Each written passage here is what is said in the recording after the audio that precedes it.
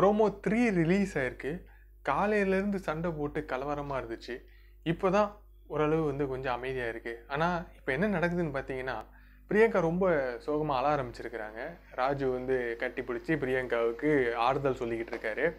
எதுக்காக அழுகுறாங்க அப்படின்னா வேறு ஒன்றும் கிடையாது. காலையில் தாமரை பிரியங்காவை அசால்ட் பண்ணதுனால அதாவது இப்படி கையை வச்சு பயங்கரமாக தள்ளி விட்டாங்க. அது வந்து தேவையில்லாத ஒரு விஷயம் அப்படின்னு தான் நம்ம சொல்லி அக்ரெசிவாக அப்படி ரியாக்ட் பண்ணியிருக்கணுமா அப்படிங்கிறது ஒரு கேள்வி.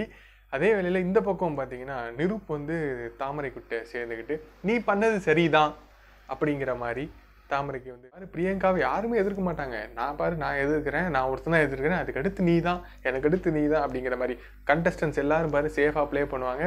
பிரியங்காவை தொடுறதுக்கு பயப்படுவாங்க. ஏன்னா பிரியங்கா வந்து ரொம்ப டாமினண்ட்டான ஒரு கேரக்டர் அப்படிங்கிறத எடுத்துகிட்டு சொல்கிறாரு அதில் ரெண்டு பாயிண்ட் நான் வந்து கண்டிப்பாக ஒத்துக்கணும். ரெண்டு விஷயம் நான் ஒத்துக்கணும். முதல் விஷயம் என்ன அப்படின்னா நிரூப் சொல்வார் பிரியங்கா வந்து அவங்க சொல்கிறது தான் சரி அப்படின்னு வந்து ஒரு மைண்ட் செட்டில் இருப்பாங்க.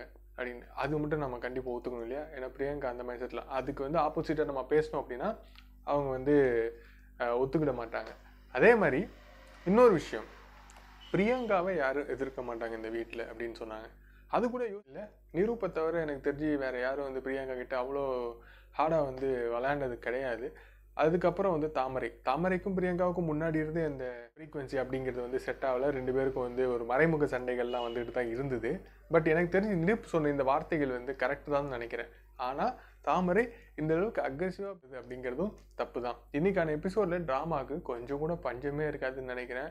இன்னைக்கான எபிசோடு உண்மையிலேயே ரொம்ப சூப்பராக இருக்க போது பார்த்து என்ஜாய் பண்ணுவோம்.